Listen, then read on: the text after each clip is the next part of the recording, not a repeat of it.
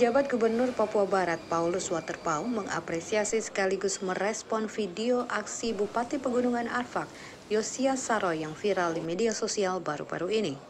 Waterpau sependapat dengan isi pernyataan Bupati Pegav Yosia Saro yang meminta semua pihak mengikuti prosedur.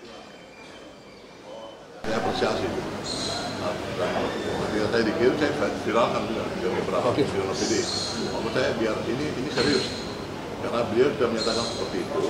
Dia kan mem- meminta agar tunggu peraturan daerah provinsi perdasi yang sedang dibuat oleh kita di provinsi itu.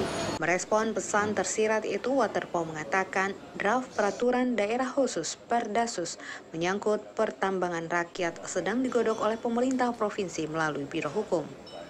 Jadi makanya saya minta dulu ke Ibu Kepala Biro. Biro Hukum lagi nunggu untuk tandatangani beberapa perda itu. Itu di antaranya saya mau eh, betul-betul menjawab, menjawab itu. Ya, artinya bahwa saya berharap tambang rakyat itu tidak digarap oleh semua orang dengan mau-maunya.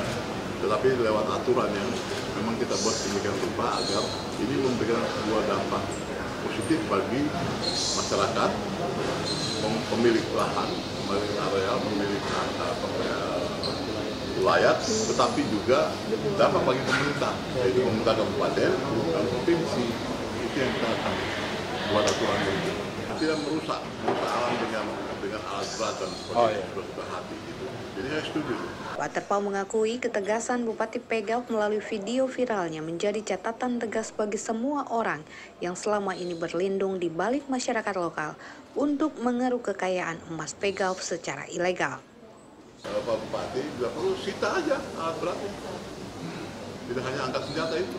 Beroperasi. Iya, dia beroperasi. Begitu. Tapi kita tertibkan yang baik. Kalau nggak hancur nanti. Ada banyak daerah yang punya pengalaman begitu ya. Dilepas begitu dengan alasan ini sumber daya bagi masyarakat, ternyata dihancurkan. Gampang. Gitu.